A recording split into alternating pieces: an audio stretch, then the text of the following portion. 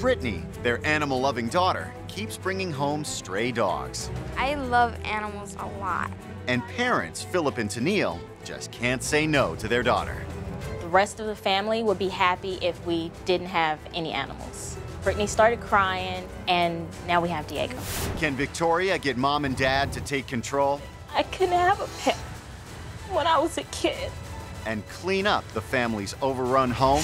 You have to tell her, Brittany, no more. Okay. What? You're very beautiful. Brittany wanted a dog. Philip and I told her she absolutely could not have a dog. Brittany found Diego online. We went to look at him. Philip and I, we gave in. When Brittany cries, she pretty much gets her way. The dog count in the family has doubled in recent days. And this is Bailey. That's the new addition to the family. Okay. How long has Bailey been here? Bailey's been with us for about three days. Oh, three days. Yeah. Wow. he just walked up to my daughter in the store, and um, I guess he was lost. So we've, you know, been trying to find his family, and so Oh. far, no luck. And you've got itches. Has he got fleas? No, he doesn't have fleas. When he went to the vet the other day, he had no fleas. It's never a good idea to take in a stray dog without alerting the rescue shelters in your area. However, at least the family had Bailey checked by a veterinarian to make sure that he was free from disease or infection. I have a problem saying no to Brittany. It would break her heart to see the dog homeless or be put to sleep. So now he's here.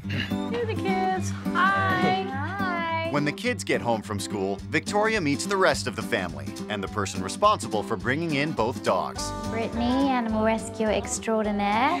yes. They fight for her attention. Ah. Oh, look. Ooh. Brittany is so into her animals, so much so that she's bringing rescues back all the time, which is causing problems. But it's wonderful for me to be able to work with somebody who's as passionate about animals as I am. I think you guys are too soft. There's no real authority figures um, that are telling the children yes and no. And it's your responsibility to say what your children can have and what they can't have. I don't want her to think that I'm one of those parents that just disagree on everything, you know, and to say no to everything. Because that's what I heard growing up. All the time for anything. I couldn't have a pet when I was a kid. You know, and and Brittany is such a special kid and she's my only girl, she's my oldest. And so whenever she asks for anything, you know, I give it to her because she could be a bad kid. You know?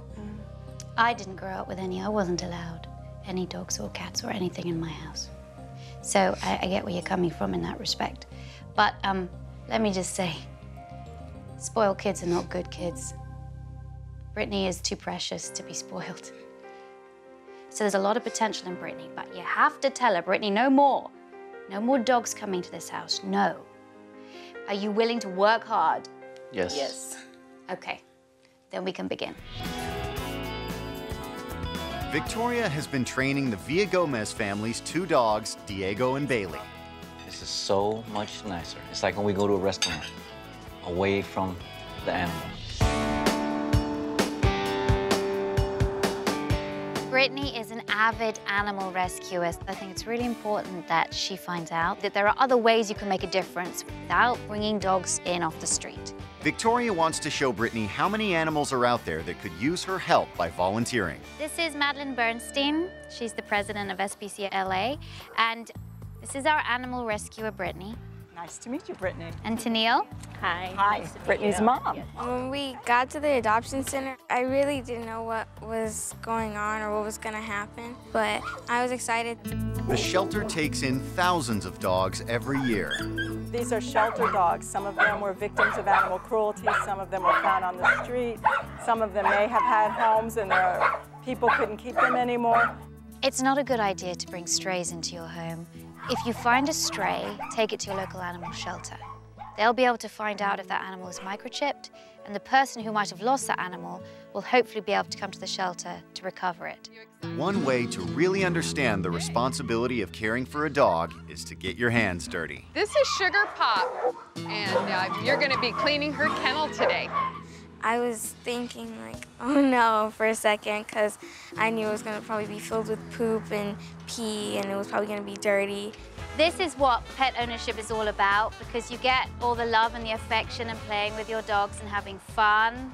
But on the other hand, you have to do the feeding and the cleaning and make sure that your pet stays healthy.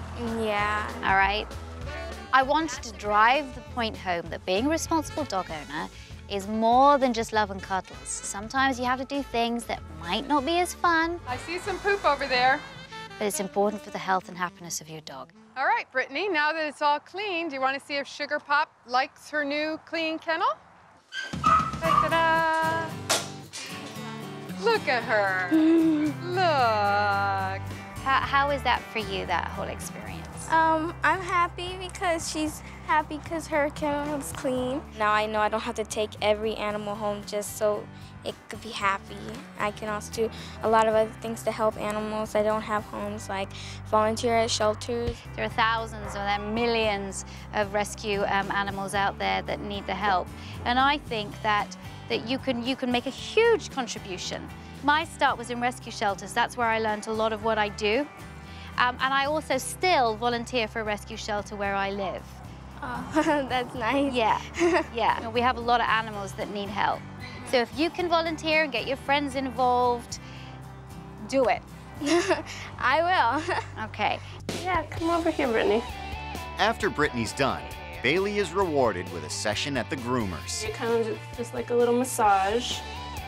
And you want to make sure that you don't get the soap in the eyes. We'll start rinsing them off. he smells good too. After her morning's hard work, Brittany is rewarded with some puppy playtime. This is Parker. She's a three-month-old little Chow Shepherd puppy. She's full of energy. You want to play with her? Give her a bit of love. Uh-huh. It's really wonderful to see Brittany's face light up when she's around these animals. And that's why I, I think taking her to a rescue shelter is a really good idea because it's something she can do in the future. Final bit of homework is for you, Brittany. I would like you to do something for your local shelter.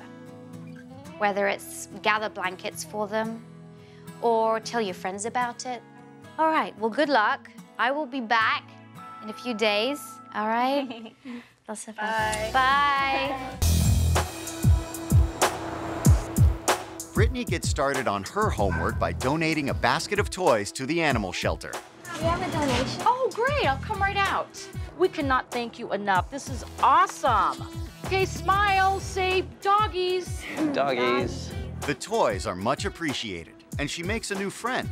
But this time, her canine companion won't be coming home.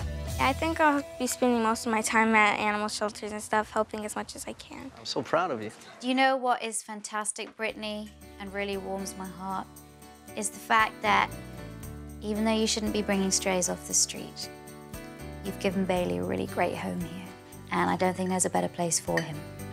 But no more. Promise. I promise. Okay, good. Victoria has helped my family out a lot, and I appreciate it. And I'm gonna miss her when she leaves. I'm really impressed with the work you've done. I think these dogs have a great home with you. You have worked really hard and just keep doing it. Be consistent with these dogs, and I think you're going to reap the rewards. We are going to definitely continue with all of the training that Victoria has taught us. And it's so much more peaceful and calm at the house. Dinner is so much better. I'm really happy that Victoria came into our lives. Thank you. Bye-bye. Bye. Love. Bye. I'm really pleased with the progress the family have made with their dogs. It's a really wonderful feeling for me to be able to leave knowing that the dogs are in a better place and so's the family. Recently, we were driving down the street and we saw a dog and he looked lost and Brittany's first reaction was, Mom, call the shelter, tell them where this dog is at so someone can come pick him up. Brittany has matured so much since we worked with Victoria. I'm so proud of her. And it's great to see that Brittany is still looking out for stray animals. Victoria has helped me realize that when I grow up, I want to be a veterinarian and work with animals. What is wrong with the baby? Thank you.